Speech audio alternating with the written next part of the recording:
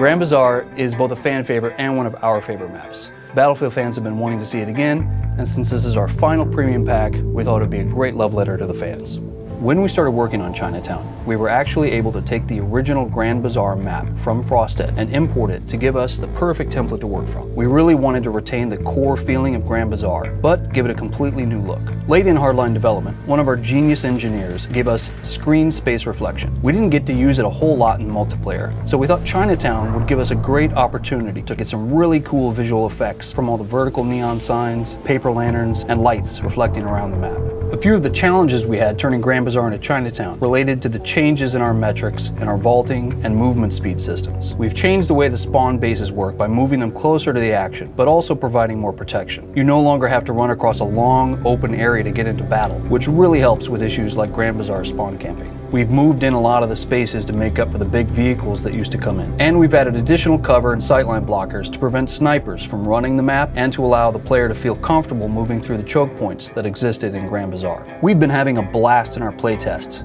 getting feedback from the team and figuring out how to make this map as fun as possible.